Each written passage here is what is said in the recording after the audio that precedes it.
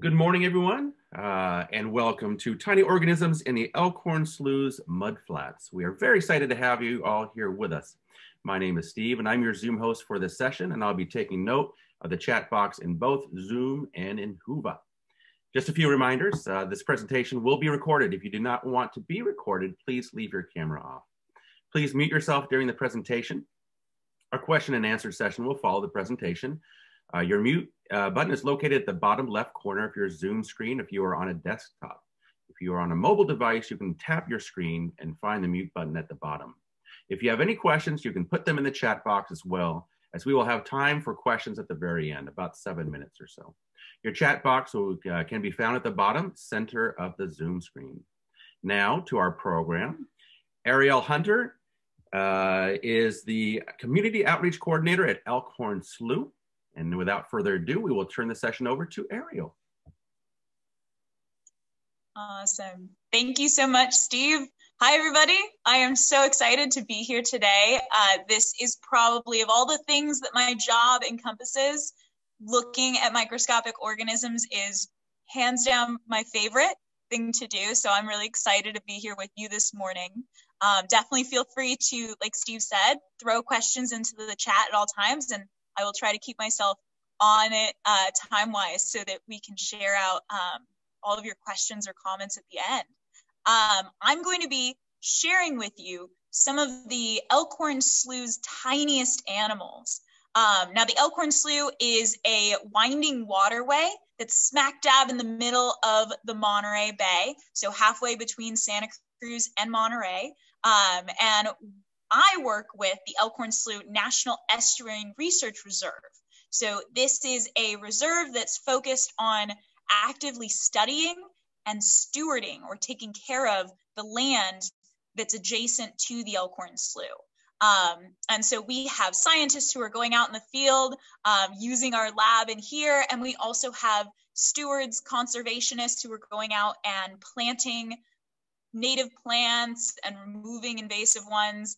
Um, and then we have educators like myself who are uh, engaging the public around this.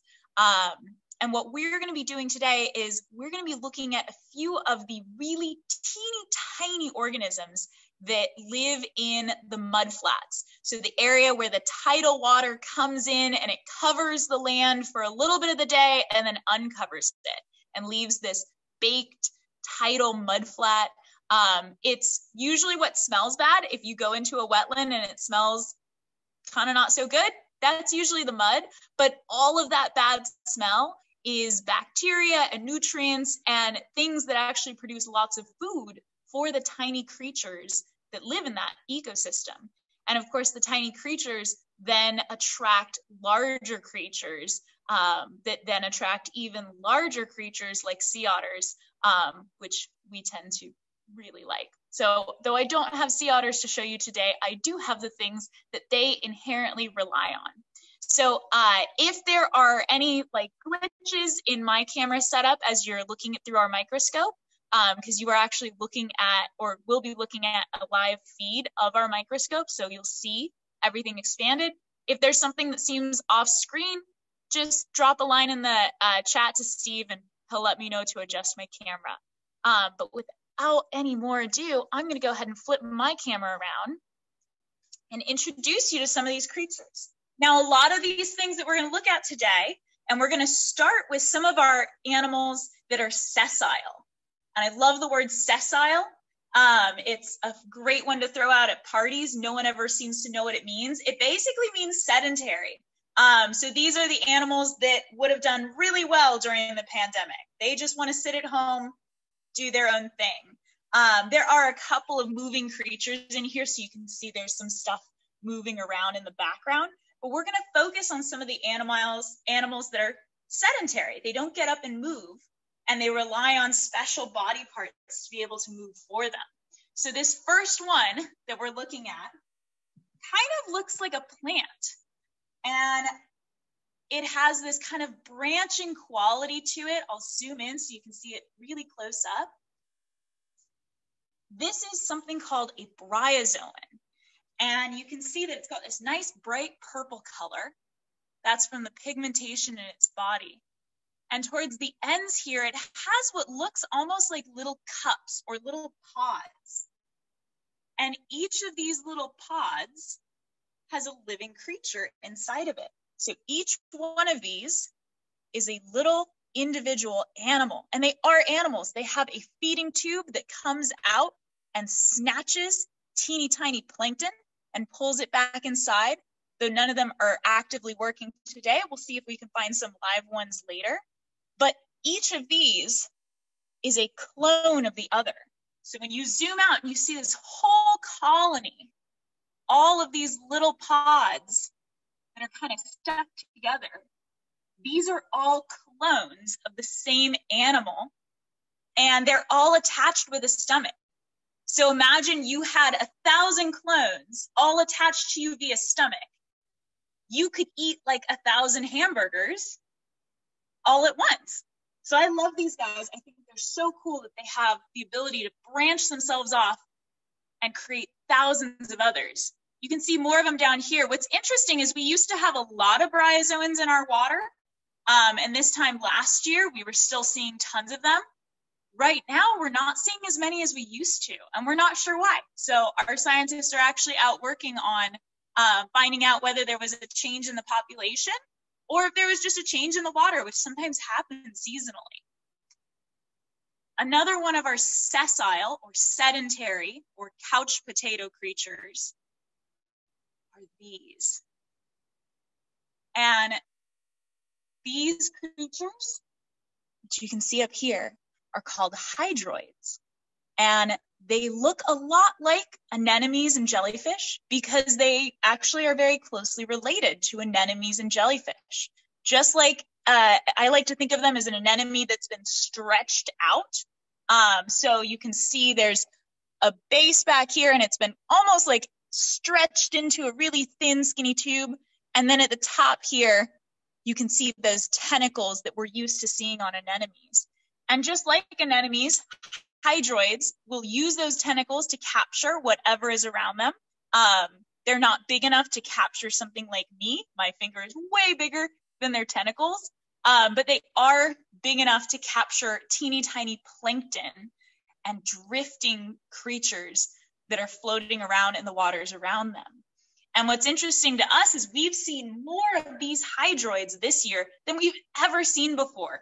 We usually only get one or two of them every year and they're kind of like a rare thing for us to find or we we up until a month ago they were a rare thing to find now we're seeing tons of them so we're very curious to see if there's just been a shift in the underwater population from those bryozoans dominating the space to these hydroids and you can see they move life as a hydroid moves very very slowly but this one here is very very gently reaching out its tentacles and scoping to see if it can find any food in the nearby area.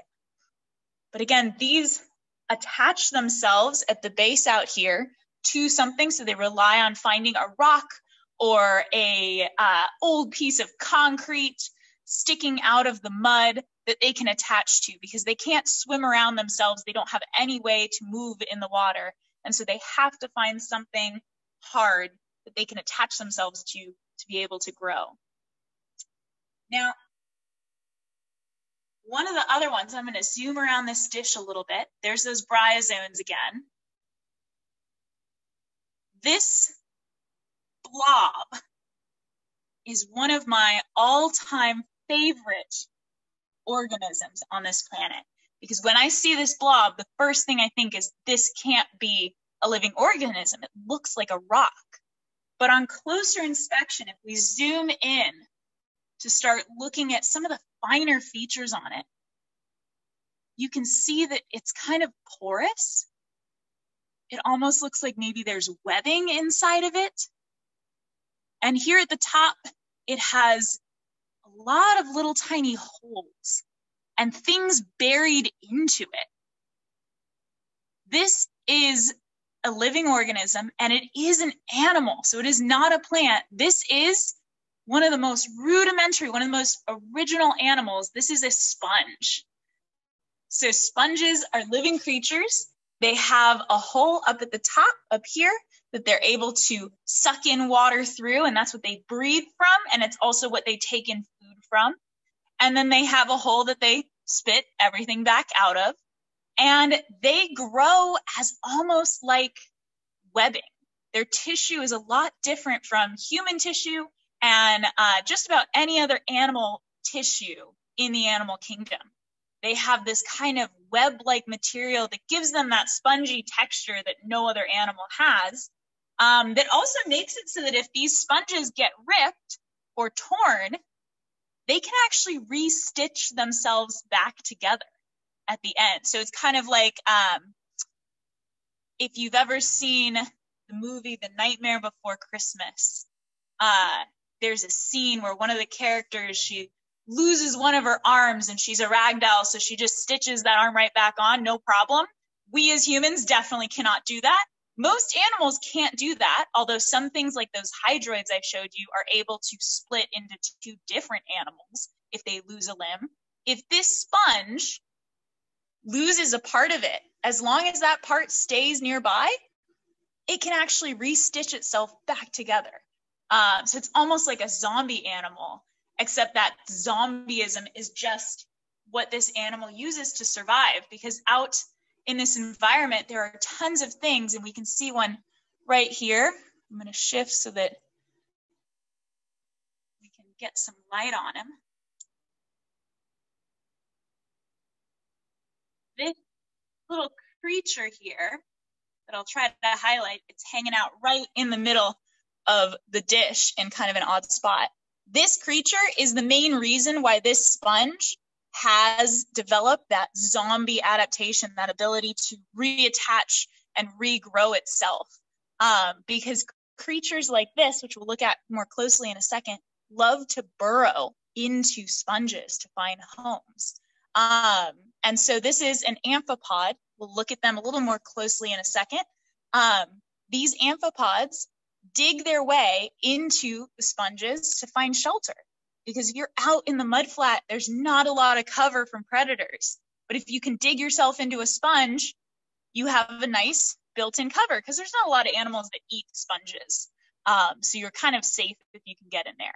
So again, the animal finds shelter in another animal, the sponge, and the sponge isn't necessarily hurt because it just regrows itself around the new tunnel that's been created by that animal. The last of our sessile or sedentary creatures I'm going to show you is this one. And this one always reminds me of like a giant strawberry. Uh, sim- this animal is another type of bryozoan, and I'm going to zoom in here so we can see inner workings of it a little closer. So just like that purple branching stuff that we saw before, this bryozoan has all sorts of different pods on it. And each of these little boxes houses a different bryozoan, a different creature that's living in there that's feeding out of this little tube. But I love that this one, instead of branching out into something that looks like a plant, it grows as a crust. And so it can actually grow larger because if you are growing like a giant plant and you're in the water, a big tide or a heavy wave can pull you out of the water more easily. Whereas if you're growing like a big crust all over everything, you're going to be able to kind of hold on and stay safe no matter how big you get. So there's a lot of different animals that take advantage of one, becoming clones, so that, and you can actually see on the edge of this colony this is where some of those bryozoans got eaten or they got broken off uh, during a heavy storm like last week. And when that happens, these clones just grow new clones and kind of strengthen out the colony and fan it out from there, right? So if you have a thousand of you, it's okay if you lose a few. Um, and that's what's happening here in these edges. So we've got our sessile creatures. We also have animals that like to move. And these ones, again, they like to move. So it may be a little bit funky to try to capture them. So uh, bear with me as we try to see if we can find them. I'm going to start with some of the ones that are a little bit easier because they're a little slower. This creature may look very familiar to you if you've ever uh, been out in the forest or really just in your backyard flipping over rocks and you find, um, I always called them roly polies as a kid. Uh, a lot of people call them pill bugs. This, their group is called isopod. And there's tons of species of isopods, including the land dwelling ones called roly polies that you find in your backyard, but most of them live in the ocean. And this isopod here, I'll bring it down into the corner here so you can see its face, has an eye on either side. You can see it just kind of gleaming in the light here. We'll zoom in on that in a second because they have incredible eyes. And it has lots of little armored plates, just like the roly polies again that you find in your backyard. These look very similar. And those plates protect it from anything that might capture it. And they also allow it, because they're interlocking, they allow it to curl up into a little ball to defend itself if it needs to.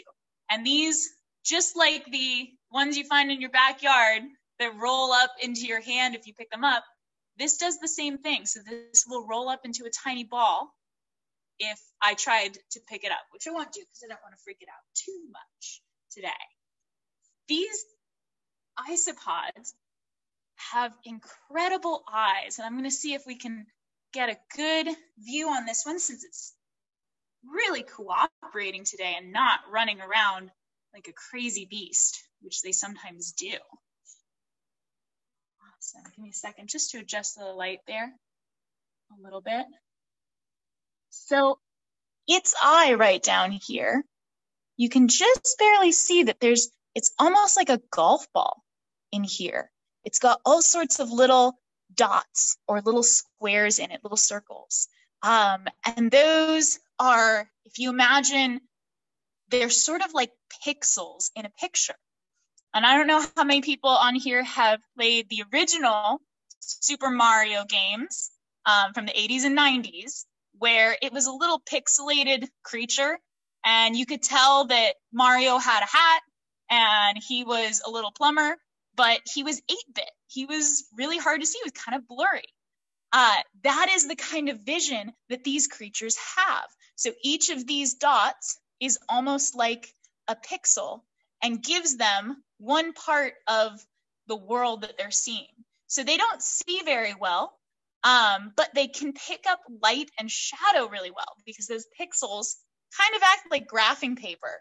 And as a shadow comes over them, they can measure how much of the area of their eye is covered in shadow.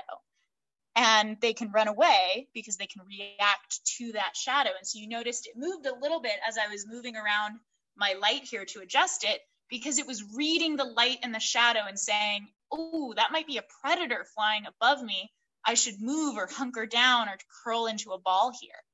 And what's amazing is flies, like the ones that you have in, uh, that you see around your house sometimes, they have the same eyes. But instead of seeing an 8 bit, because they only have a few of these pixels, they have thousands of them.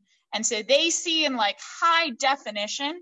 And that's why flies can react much more quickly than these isopods and pill bugs can because they have much more refined eyesight. They're seeing like modern HD vision, whereas these are not seeing as well.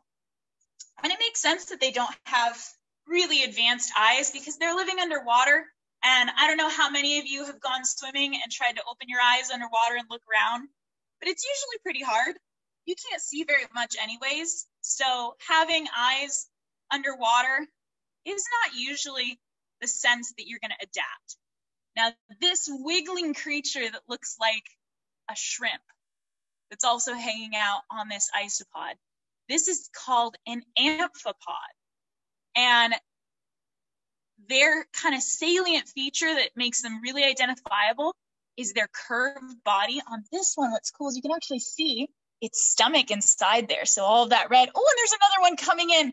Amphipods are very territorial. Um, they push and shove each other to get into the best spaces. They like to be attached to things. So even though they're free swimming and they can run around, they're not sessile, they're not stuck like some of those other ones we saw. Um, they prefer to be attached to something because it means that they're safe, right? If you are out swimming in the water column, you are easy to spot. But if you're attached to something, you can hide. And so they will push each other around to get into the best hiding spaces. And usually the ones that are a little bit bigger win. What's cool on this one is it has, similar to that isopod down here, it has the same kind of eye that sees in pixelated vision. But you can also see the really well developed antennae and lots of feet. So their feet help it to swim around, which is what it's trying to do right now. And uh, they also help it to hold on to its eggs. So when the females lay their eggs, they'll actually lay them on the underside of their belly and they can use their legs to flush oxygen over them. And they become like a mobile nest, kind of like those uh, baby backpacks, except instead of holding just one baby, they can hold hundreds of them underneath their belly there. And what I love about this one, I'm going to see if I can zero in. He might, he or she might run away as soon as I get close enough. But on this one, you can just see some of its organs, its stomach. And its stomach is bright pink. So let's see if this will let me zoom in. They do respond to movement in the water. So you've got to go very, very gently and carefully. Otherwise, they freak out and run away. Oh, no, don't do it. Stay. We're not going to hurt you. There you go. So you can see the color, the dark color inside there. That is, and this is an amphipod that has eaten a lot today. And the red is copepods. So I don't have any copepods today. They are too small to be captured with just your hands, you would need a net. But copepods are bright red plankton, and they're red because red is the color that disappears when you go underwater. So if you are all red from head to toe and you go down about 10 feet in the ocean, you disappear. You show up as black. You blend in perfectly. So a lot of plankton and things that live in the, the ocean are red because it's kind of a camouflaged color underwater um, even though up here under a light, it does not work as well. And so the bright red in this amphi- amphipod tells me that he or she had a nice big lunch today because there must be tons of copepods in there. Now, I'm going to look around for a second in my dish here. And for those who are wondering where I got this sample, I literally just walked down to the side of the water. There's an amphipod that looks like it might have eggs. Hopefully we can find that one again in a second. I walked down to the water and just scooped up what I saw hanging out. So I scooped up all the muck that was hanging off the dock, and these creatures came along with it. So I took my scoop of muck and I brought it back to our lab here and started pulling the muck apart to find the little things that were living inside of it this creature here that's kind of bucking around and looks almost like a stick. This is an animal. Ooh, this is a skeleton shrimp. So they're called skeleton shrimp because they look bony and brittle, almost like a skeleton. And they have a face up at the top here, so you can see its face and its antennae, just like those amphipods. They have tons of antennae to be able to sense and feel the environment. They also like to use their antennae to grab food. So they actually have little sticky hairs all along these antennae that allow them to snatch plankton drifting by to eat them. So they'll brush the plankton out of the water and eat them. And you can see it just barely doing that as it pulls some of its antennae into its face to eat them. They also have some front legs to be able to grab with. So these almost look like the limbs on a praying mantis. So those can help this skeleton shrimp either push other skeleton shrimp out of the way to claim territory or to try to fend off any of the amphipods that are coming in to try to compete for space as well. So they're not big enough that they would really defend it from anything big like a bird or a fish that wanted to eat it, but they can help it move around in its environment and stake out its claim. And down here, I told you that amphipods like to lay their eggs on their belly. I'm going to see if I can get her into a really nice view. This skeleton shrimp does the same thing. So she lays her eggs on her belly, and then she has a little clamp, and you can just see it moving gently around to hold them in. And she's moving water over the eggs at all times, making sure that they can breathe nice and easy. Ariel, in probably a week or so. Oh, yeah, I just saw the time. Um, so uh, in a week or so, these eggs will hatch out into thousands of teeny tiny skeleton shrimps and grow up to look just like her. And she's actually the last of our moving creatures. So I will go ahead and open it up for questions if anybody has any. Thank you, Steve, for the reminder. Absolutely. If anyone does have any questions, you can type them in the chat box and I will read them to Ariel. Yeah.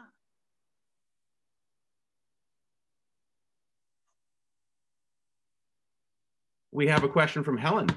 Do you have any recommendations for microscopes we can purchase to look at organisms like them at home? Ooh, that's a good question. So there's a couple of different places you can get microscopes. Um, online is probably the easiest. The microscopes we have are called dissecting microscopes, and you can get tons of different kinds.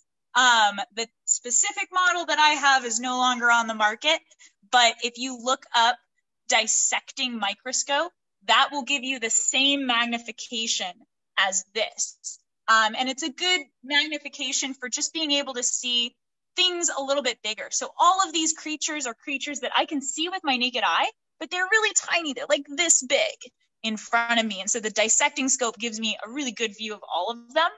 Um, if you wanted to see like cells or you wanted to see all the little eggs in here, you would probably have to get a compound microscope, um, which are a little more expensive. But dissecting scopes are what to look up, and you can usually find them just on Amazon. Thank you. And Tessa has a question Have you ever come across any unidentified organisms?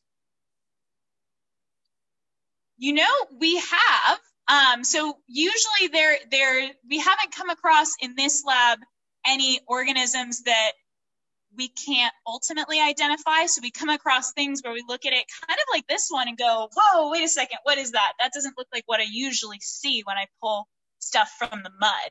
Um, I did a little identification on this one, and this is actually a baby razor clam. So this guy in real life is about this big. They're teeny, teeny, tiny, but they start their life attached to the mud before they start burrowing in places.